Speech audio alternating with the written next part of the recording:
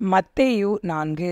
அப்பொழுது இயேசு பிசாசினால் சோதிக்கப்படுவதற்கு ஆவியானவராலே வனாந்தரத்திற்கு கொண்டு போகப்பட்டார் அவர் இரவும் பகலும் நாற்பது நாள் உபவாசமாயிருந்த பின்பு அவருக்கு பசி உண்டாயிற்று அப்பொழுது சோதனைக்காரன் அவரிடத்தில் வந்து நீர் தேவனுடைய குமாரனே ஆனால் இந்த கல்லுகள் அப்பங்களாகும்படி சொல்லும் என்றார். அவன் பிரதியுத்தரமாக மனுஷன் அப்பத்தினாலே மாத்திரமல்ல தேவனுடைய வாயிலிருந்து புறப்படுகிற ஒவ்வொரு வார்த்தையினாலும் பிழைப்பான் என்று எழுதியிருக்கிறதே என்றார். அப்பொழுது பிசாஸ்து அவரை பரிசுத்த நகரத்திற்கு கொண்டு போய் தேவாலயத்து உப்பரிகையின் மேல் அவரை நிறுத்தி நீர் தேவனுடைய குமாரனே ஆனால் தாழ குதியும். ஏனெனில் தம்முடைய தூதர்களுக்கு உம்மை குறித்து கட்டளையிடுவார். உமது பாதம் கல்லில் இடராதபடிக்கு அவர்கள் உம்மை கைகளில் ஏந்தி கொண்டு போவார்கள் என்பதாய் எழுதியிருக்கிறது என்று சொன்னான். அதற்கு இயேசு உன் தேவனாகிய கர்த்தரை அருட்சை பாராதிருப்பாயாக என்றும் எழுதியிருக்கிறதே என்றார். மறுபடியும் பிசாசு அவரை மிகவும் உயர்ந்த மலையின் மேல் கொண்டு போய் உலகத்தின் சகல ராஜ்யங்களையும் அவைகளின் மகிமையும் அவருக்கு காண்பித்து நீர் சாஷ்டாங்கமாய் விழுந்து என்னை பணிந்து கொண்டால் இவைகளை எல்லாம் உமக்கு தருவேன் என்று சொன்னான். அப்பொழுது இயேசு அப்பாலே போ சாத்தானே உன் தேவனாகிய கர்த்தரை பணிந்து கொண்டு அவர் ஒருவருக்கே ஆராதனை செய்வாயாக என்று எழுதியிருக்கிறதே என்றார். அப்பொழுது பிசாசானவன் அவரை விட்டு விலகி போனான். உடனே தேவதூதர்கள் வந்து அவருக்கு பணிவிடை செய்தார்கள். யோவான் காவலில் வைக்கப்பட்டான் என்று இயேசு கேள்விப்பட்டு கலிலேயாவுக்கு போய் நாசரேத்தை விட்டு செபுலோன் நப்தலி என்னும் நாடுகளின் எல்லைகளில் இருக்கும் கடற்கரைக்கு அருகான கப்பர் நகுமிலே வந்து வாசம் பண்ணினார். கடற்கரை அருகிலும் யோர்தானுக்கு அப்புறத்திலும் உள்ள செபுலோ நாடும் நப்தலி நாடும் ஆகிய புறஜாதியாருடைய கலிலேயாவிலே இருளில் இருக்கும் ஜனங்கள் பெரிய வெளிச்சத்தை கண்டார்கள். மரண இருளின் திசையில் இருக்கிறவர்களுக்கு வெளிச்சம் உதித்தது என்று ஏசாயா தீர்க்கதரிசினால் உரைக்கப்பட்டது நிறைவேறும்படி இப்படி நடந்தது. அது முதல் இயேசு மனம் திரும்புங்கள். பரலோக ராஜ்யம் சமீபித்திருக்கிறது என்று பிரசங்கிக்க தொடங்கினார். இயேசு கலிலையா கடலோரமாய் நடந்து போகையில் மீன் பிடிக்கிறவர்களாயிருந்த இரண்டு சகோதரராகிய பேதுரு என்னப்பட்ட சீமோனும் அவன் சகோதரன் அந்திரையாவும் கடலில் வலை போட்டு கொண்டிருக்கிற போது அவர்களை கண்டு என் பின்னே வாருங்கள் உங்களை மனுஷரை பிடிக்கிறவர்களாக்குவேன் என்றார். உடனே அவர்கள் வலைகளை விட்டு அவருக்கு பின் சென்றார்கள். அவர் அவ்விடம் விட்டு போகையில் வேற இரண்டு சகோதரராகிய செபேதேயுவின் மகன் யாக்கோவும் அவன் சகோதரன் யோவானும் தங்கள் தகப்பன் செபேதேயுடனே படவிலிருந்து தங்கள் வலைகளை பழுது பார்த்து கொண்டிருக்கிற போது அவர்களை கண்டு அவர்களையும் அழைத்தார். உடனே அவர்கள் படவையும் தங்கள் தகப்பனையும் விட்டு அவருக்கு பின் சென்றார்கள். பின்பு இயேசு கலிலையா எங்கும் சுற்றி நடந்து அவர்களுடைய ஜப ஆலயங்களில் உபதேசித்து ராஜ்யத்தின் சுவிசேஷத்தை பிரசங்கித்து ஜனங்களுக்கு உண்டாயிருந்த சகல வியாதிகளையும் சகல நோய்களையும் நீக்கி சொஸ்தமாக்கினார் அவருடைய கீர்த்தி சீரியா எங்கும் பிரசித்தமாயிற்று. அப்பொழுது பலவித வியாதிகளையும் வேதனைகளையும் அடைந்திருந்த சகல பிணியாளிகளையும் விசாசு பிடித்திருந்தவர்களையும் சந்திர ரோகிகளையும் திமிர்வாதக்காரரையும் அவரிடத்தில் கொண்டு வந்தார்கள். அவர்களை சொஸ்தமாக்கினார். கலிலேயாவிலும் தெக்கப்போலியிலும் எருசலேமிலும் யூதயாவிலும் யோர்தானுக்கு அப்புறத்திலும் இருந்து திரளான ஜனங்கள் வந்து அவருக்கு பின் சென்றார்கள். ஏசாயா நாற்பத்தி ஐந்து கர்த்தராகிய நான் அபிஷேகம் பண்ணின கோரேஸுக்கு முன்பாக ஜாதிகளை கீழ்ப்படுத்தி ராஜாக்களின் இடைக்கட்டுகளை அவிழ்க்கும்படிக்கும் அவனுக்கு முன்பாக வாசல்கள் பூட்டப்படாதிருக்க கதவுகளை திறந்து வைக்கும்படிக்கும் அவனை பார்த்து அவன் வலதுகையை பிடித்து கொண்டு அவனுக்கு சொல்லுகிறதாவது நான் உனக்கு முன்னே போய் கோணலானவைகளை செவ்வையாக்குவேன். உன்னை பெயர் சொல்லி அழைக்கிற இஸ்ரவேலின் தேவனாகிய கர்த்தர் நானே என்று நீ அறியும்படிக்கு வெண்கலக் கதவுகளை உடைத்து இரும்பு தாழ்பால்களை முறித்து அந்தகாரத்தில் இருக்கிற பொக்கிஷங்களையும் ஒளிப்பிடத்தில் இருக்கிற புதையல்களையும் உனக்கு கொடுப்பேன். நான் என் தாசனாகிய யாக்கோபின் நிமித்தமும் நான் தெரிந்து கொண்ட இஸ்ரவேலின் நிமித்தமும் நான் உன்னை பெயர் சொல்லி அழைத்து நீ என்னை அறியாதிருந்தும் உனக்கு நாமம் தரித்தேன். நானே கர்த்தர். வேறொருவர் இல்லை. என்னைத் தவிர தேவன் இல்லை. என்னைத் தவிர ஒருவரும் இல்லை என்று சூரியன் உதிக்கிற திசையிலும் அது அஸ்தமிக்கிற திசையிலும் அறியப்படும்படிக்கு நீ என்னை அறியாதிருந்தும் நான் உனக்கு இடைக்கட்டு கட்டினேன். நானே கர்த்தர். வேறொருவர் இல்லை. ஒளியை படைத்து இருளையும் உண்டாக்கினேன். சமாதானத்தை படைத்து தீங்கையும் உண்டாக்குகிறவர் நானே. கர்த்தராகிய நானே இவைகளையெல்லாம் செய்கிறவர். வானங்களே உயர இருந்து சொரியுங்கள். ஆகாய மண்டலங்கள் நீதியை பொழிய கடவது. பூமி தர உண்டு. ரட்சிப்பின் கனியை தந்து நீதியும் கூட விளைவதாக. கர்த்தராகிய நான் இவைகளை உண்டாக்குகிறேன். மண்ணோடுகளுக்கு ஒத்த ஓடாயிருந்தும் தன்னை உருவாக்கினவரோடே வழக்காடுகிறவனுக்கு ஐயோ. களிமண் தன்னை உருவாக்கினவனை நோக்கி என்ன செய்கிறாய் என்று சொல்லத் தகுமோ? உன் கிரியையானது அவருக்கு கைகள் இல்லை என்று சொல்லலாமோ? தகப்பனை நோக்கி ஏன் ஜனிப்பித்தாய் என்றும் தாயை நோக்கி ஏன் பெற்றாய் என்றும் சொல்லுகிறவனுக்கு ஐயோ. இஸ்ரவேலின் பரிசுத்தரும் அவனை உருவாக்கினவருமாகிய கர்த்தர் சொல்லுகிறதாவது வருங்காரியங்களை என்னிடத்தில் கேளுங்கள்.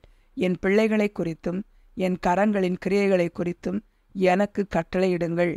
நான் பூமியை உண்டு பண்ணி நானே அதன் மேல் இருக்கிற மனுஷனை சிருஷ்டித்தேன். என் கரங்கள் வானங்களை விரித்தன. அவைகளின் சர்வ சேனையும் நான் கட்டளையிட்டேன்.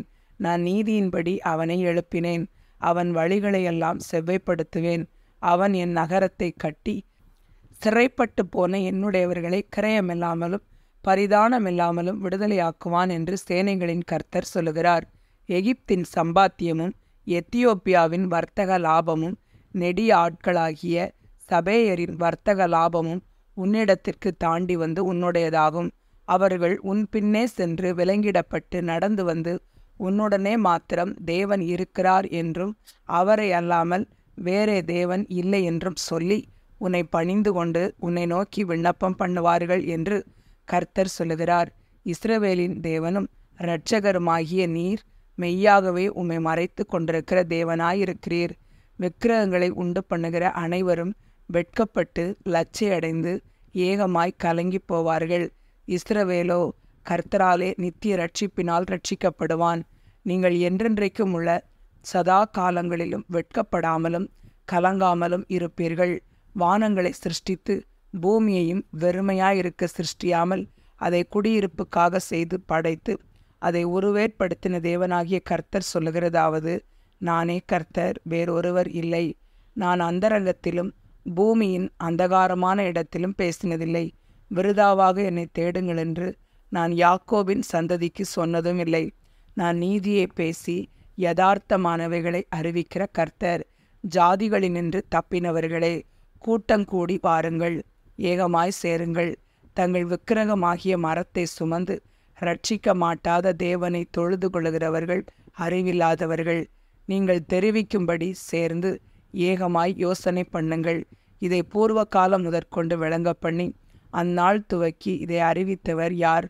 கர்த்தராகிய நான் அல்லவோ? நீதிபரரும் இரட்சகருமாகிய என்னை அல்லாமல் வேறே தேவன் இல்லை. என்னைத் தவிர வேறொருவரும் இல்லை. பூமியின் எல்லையெங்கும் உள்ளவர்களே என்னை நோக்கி பாருங்கள். அப்பொழுது ரட்சிக்கப்படுவீர்கள் நானே தேவன் வேறு ஒருவரும் இல்லை. முழங்கால் யாவும் எனக்கு முன்பாக முடங்கும். நாவு யாவும் என்னை முன்னிட்டு ஆணையிடும் என்று நான் என்னை கொண்டே ஆணையிட்டிருக்கிறேன். இந்த நீதியான வார்த்தை என் வாயிலிருந்து புறப்பட்டது. இது மாறுவது இல்லை என்கிறார்.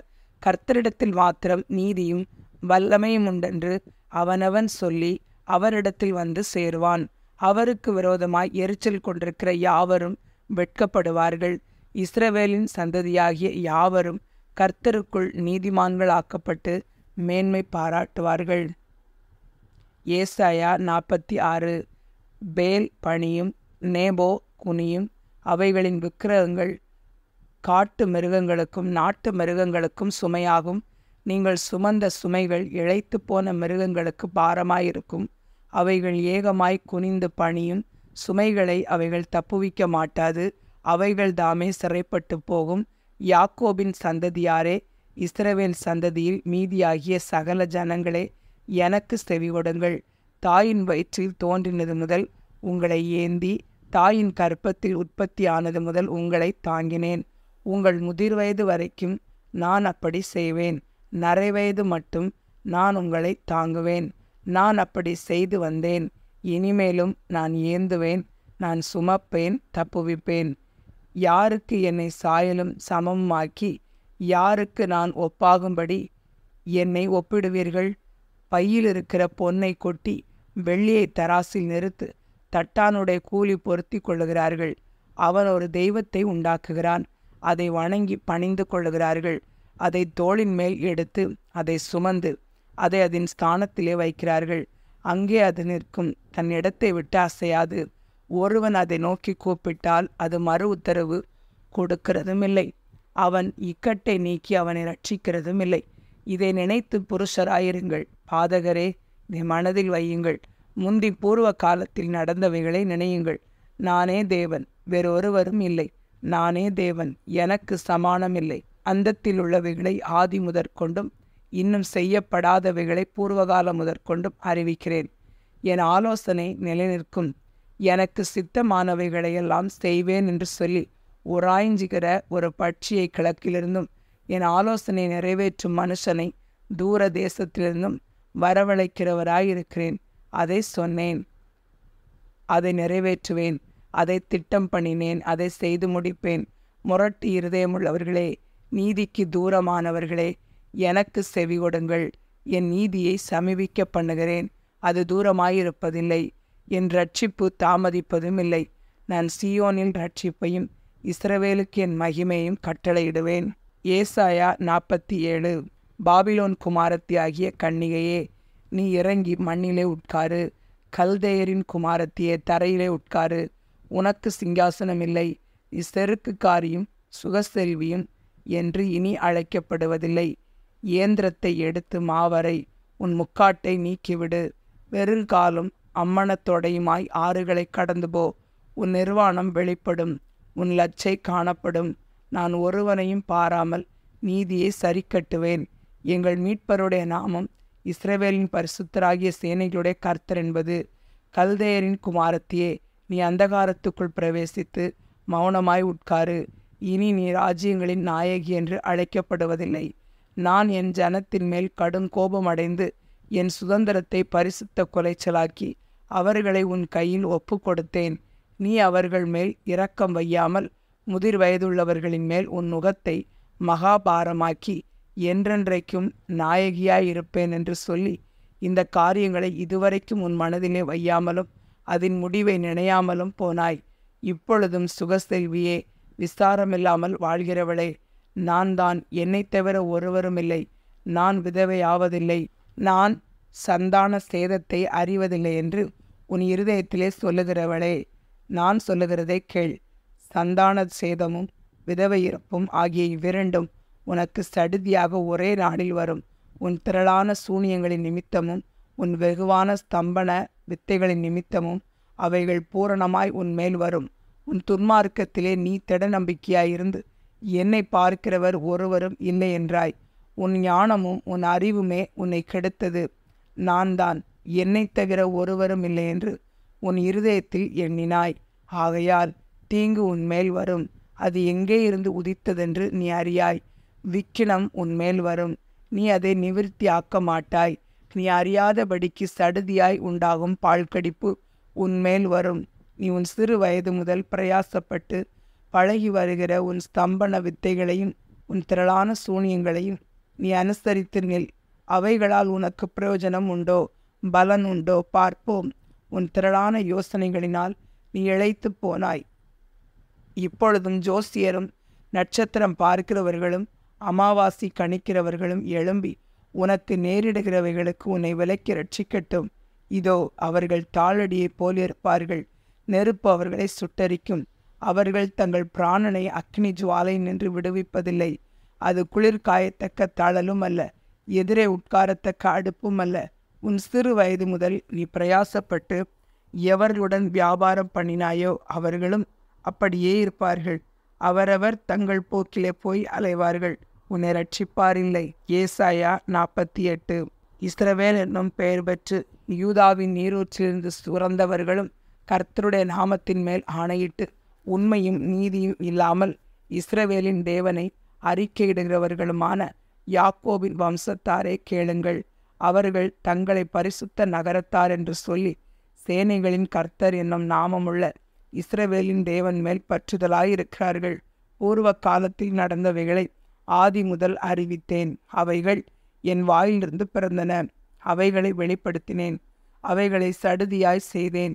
அவைகள் நடந்தன. நீ கடினமுள்ளவன் என்றும் உன் பிடரி நரம்பு இரும்பென்றும் உன் நெற்றி வெண்கலமென்றும் அறிந்திருக்கிறேன். ஆகையால் என் விக்கிரகம் அவைகளை செய்ததென்றும் நான் செய்த சுரூபமும் நான் வார்ப்பித்த விக்கிரகமும் அவைகளை கட்டளையிட்டதென்றும் நீ சொல்லாதபடிக்கு நான் அவைகளை முன்னமே உனக்கு அறிவித்து அவைகள் வராததற்கு முன்னே உனக்கு வெளிப்படுத்தினேன். அவைகளை கேள்விப்பட்டாயே அவைகளை எல்லாம் பார். இப்பொழுது நீங்களும் அவைகளை அறிவிக்கலாம் அல்லவோ இது முதல் புதியவைகளானவைகளையும் நீ அறியாத மறைப்பொருளானவைகளையும் உனக்கு தெரிவிக்கிறேன். அவைகள் ஆதி முதற்கொண்டு அல்ல இப்பொழுதே உண்டாக்கப்பட்டன. இதோ அவைகளை அறிவேன் என்று நீ சொல்லாதபடிக்கு இந்நாட்களுக்கு முன்னே நீ அவைகளை கேள்விப்படவில்லை. நீ கேள்விப்படவும் இல்லை அறியவும் இல்லை. ஆதி முதல் உன் செவி திறந்திருக்கவும் இல்லை. நீ துரோகம் பண்ணுவாய் என்பதையும் தாயின் கற்பன் தொடங்கி நீ மீறுகிறவன் என்று பெயர் பெற்றதையும் அறிந்திருக்கிறேன். என் ஆமத்து நிமித்தம் என் கோபத்தை நிறுத்தி வைத்தேன். உன்னை சங்கரிக்காதபடிக்கு நான் என் புகழ்ச்சி நிமித்தம் உன்மேல் பொறுமையாயிருப்பேன். இதோ உன்னை புடமிட்டேன். ஆனாலும் வெள்ளியைப் போலல்ல உபத்திரவத்தின் குகையிலே உன்னை தெரிந்து கொண்டேன். என் நிமித்தம் என் நிமித்தமே அப்படி செய்வேன். என் நாமத்தின் பரிசுத்தம் எப்படி குலைக்கப்படலாம்? என் மகிமை நான் வேறொருவருக்கும் கொடேன். யாக்கோபே நான் அழைத்திருக்கிற இஸ்ரவேலே எனக்கு செவிகொடு நான் அவரே. நான் முந்தினவரும் நான் பிந்தினவருமாமே. என் கரமே பூமியை அஸ்திபாரப்படுத்தி என் வலதுகை வானங்களை அளவிட்டது. நான் அவைகளுக்கு கட்டளையிட அவைகள் அனைத்தும் நிற்கும். நீங்கள் எல்லாரும் கூடி வந்து கேளுங்கள். கர்த்தருக்கு பிரியமானவன் அவருக்கு சித்தமானதை பாபிலோனில் செய்வான். அவன் புயம் கல்தையரின் மேல் இருக்கும் என்பதை இவர்களை அறிவித்தவன் யார்? நான். நானே அதை சொன்னேன். நான் அவனை அழைத்தேன். நான் அவனை வரப்பண்ணினேன். அவன் வழி வாய்க்கும். நீங்கள் என் சமீபத்தில் வந்து நான் சொல்வதை கேளுங்கள். நான் ஆதி முதற்கொண்டு அந்தரங்கத்தில் பேசவில்லை. அது உண்டான காலம் துவக்கி அங்கே நான் இருந்தேன். இப்பொழுதோ கர்த்தராகிய ஆண்டவரும் அவருடைய ஆவியும் என்னை அனுப்புகிறார். இஸ்ரவேலின் பரிசுத்தராயிருக்கிற உன் மீட்பரான கர்த்தர் சொல்லுகிறதாவது பிரயோஜனமாயிருக்கிறதை உனக்கு போதித்து நீ நடக்க வேண்டிய வழியிலே உன்னை நடத்துகிற உன் தேவனாகிய கர்த்தர் நானே. ஆ என் கற்பனைகளை கவனித்தாயானால் நலமாயிருக்கும். அப்பொழுது உன் சமாதானம் நதியைப் போலும் உன் நீதி சமுத்திரத்தின் அலைகளைப் போலும் இருக்கும். அப்பொழுது உன் சந்ததி மணலத்தனையாகவும் உன் கர்ப்ப பிறப்பு அதன் அணுக்களத்தனையாகவும் இருக்கும். அப்பொழுது அதன் பெயர் நம்மை விட்டு அற்றுப்போகாமலும் அழிக்கப்படாமலும் இருக்கும். பாபிலோனிலிருந்து புறப்படுங்கள். கல்தேரை விட்டு ஓடி வாருங்கள். கர்த்தர் தம்முடைய தாசனாகிய யாக்கோவை மீட்டு கொண்டார் என்று சொல்லுங்கள். இதை கம்பீர சத்தமாய் கூறி பிரசித்தப்படுத்துங்கள். பூமியின் கடையாந்தரம் மட்டும் வெளிப்படுத்துங்கள் என்கிறார். அவர் அவர்களை வனாந்தரங்களில் நடத்தும்போது அவர்களுக்கு தாக விடாயிருந்ததில்லை. கண்மலையிலிருந்து தண்ணீரை அவர்களுக்கு சுரக்க பண்ணினார். கண்மலையை பிளந்தார். தண்ணீர் ஓடி வந்தது. துன்மார்க்கருக்கு சமாதானம் இல்லை என்று கர்த்தர் சொல்லுகிறார். சங்கீதம் எழுபத்தி ரெண்டு சாலமோனை பற்றிய சங்கீதம். தேவனே ராஜாவுக்கு உம்முடைய நியாய தீர்ப்புகளையும் ராஜாவின் குமாரனுக்கு உம்முடைய நீதியையும் கொடுத்தருளும். அவர் உம்முடைய ஜனங்களை நீதியோடும் உம்முடைய ஏழைகளை நியாயத்தோடும் சரிப்பார் பர்வதங்கள் ஜனத்திற்கு சமாதானத்தை தரும். மேடுகள் நீதியின் விளைவோடு இருக்கும் ஜனத்தில் சிறுமைப்படுகிறவர்களை அவர் நியாயம் விசாரித்து ஏழையின் பிள்ளைகளை ரட்சித்து இடுக்கண் செய்கிறவனின் ஒருக்குவார் சூரியனும் சந்திரனும் உள்ள மட்டும். அவர்கள் உமக்கு தலைமுறை தலைமுறையாக பயந்திருப்பார்கள். புல்லறு புண்ட வெளியின் மேல் பெய்யும் மழையைப் போலவும் பூமியை நனைக்கும் தூறலைப் போலவும் இறங்குவார். அவருடைய நாட்களில் வீதிமான் செழிப்பான். சந்திரன் உள்ளவரைக்கும் மிகுந்த சமாதானம் இருக்கும். ஒரு சமுத்திரம் தொடங்கி மறு சமுத்திரம் வரைக்கும் நதி தொடங்கி பூமியின் எல்லைகள் வரைக்கும் அவர் அரசாளுவார். வனாந்தரத்தார் அவருக்கு முன்பாக குனிந்து வணங்குவார்கள். அவருடைய சத்துருக்கள் மண்ணை நக்குவார்கள். தர்ஷீஷின் ராஜாக்களும் தீவுகளின் ராஜாக்களும் காணிக்கைகளை கொண்டு வருவார்கள். ஷேபாவிலும் சேவாவிலும் உள்ள ராஜாக்கள் வெகுமானங்களை கொண்டு வருவார்கள். சகல ராஜாக்களும் அவரை பணிந்து கொள்வார்கள். சகல ஜாதிகளும் அவரை சேவிப்பார்கள். கூப்பிடுகிற எளியவனையும் உதவியற்ற சிறுமையானவனையும் அவர் விடுவிப்பார். பலவீனனுக்கும் எளியவனுக்கும் அவர் இறங்கி எளியவர்களின் ஆத்துமாக்களை ரட்சிப்பார். அவர்கள் ஆத்துமாக்களை வஞ்சகத்திற்கும் கொடுமைக்கும் தப்புவிப்பார். அவர்களுடைய இரத்தம் அவருடைய பார்வைக்கு அருமையாயிருக்கும். அவர் பிழைத்திருப்பார். சேபாவின் பொன் அவருக்கு கொடுக்கப்படும். அவர் நிமித்தம் இடைவிடாமல் ஜெகம் பண்ணப்படும். எந்நாளும் ஸ்தோத்தரிக்கப்படுவார். பூமியிலே மலைகளின் உச்சிகளில் ஒரு பிடி தானியம் விதைக்கப்பட்டிருக்கும். அதன் விளைவு லீபனோனைப் போல அசையும். பூமியின் புல்லைப் போல நகரத்தார் செழித்தோங்குவார்கள் அவருடைய நாமம் என்றென்றைக்கும் இருக்கும். சூரியனுள்ள மட்டும் அவருடைய நாமம் சந்தான பரம்பரையாய் நிலைக்கும். மனுஷர் அவருக்குள் ஆசிர்வதிக்கப்படுவார்கள். எல்லா ஜாதிகளும் அவரை பாக்கியமுடையவர் என்று வாழ்த்துவார்கள். இஸ்ரவேலின் தேவனாயிருக்கிற கர்த்தராகிய தேவனுக்கு ஸ்தோத்திரம் உண்டாவதாக. அவரே அதிசயங்களை செய்கிறவர். அவருடைய மகிமை பொருந்திய நாமத்துக்கு என்றென்றைக்கும் ஸ்தோத்திரம் உண்டாவதாக. பூமி முழுவதும் அவருடைய மகிமையால் நிறைந்திருப்பதாக. ஆமேன் ஆமேன். ஈசாயின் புத்திரனாகிய தாவீதின் விண்ணப்பங்கள் முடிந்தது.